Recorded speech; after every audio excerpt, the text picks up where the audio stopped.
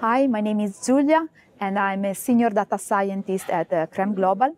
We are a, so, a, data science and technology company and we build uh, mathematical model and software tools uh, to um, estimate exposure from chemicals that can be toxic or carcinogenic for humans.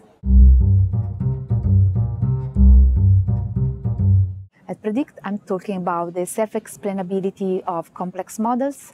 Uh, this is a, a, brand new area of uh, research in the uh, field of uh, artificial intelligence.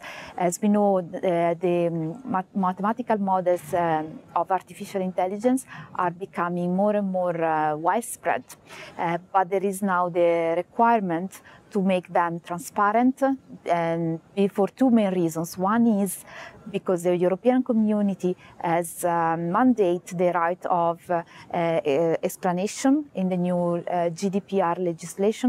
So the consumers have the right to uh, ask to companies the, um, why certain AI models have made a decision that can have an impact, a significant impact on their lives. And the second uh, reason is that people don't trust what they don't understand. So there is the request from the public to know how these decisions are made, are these mod- how these models work, because they, if they have to use them, they want to know what's going on. In my talk, I'm also giving a real-life example about a model that we built uh, in Creme Global to assess exposure to a number of pesticides that are currently sold in the American market.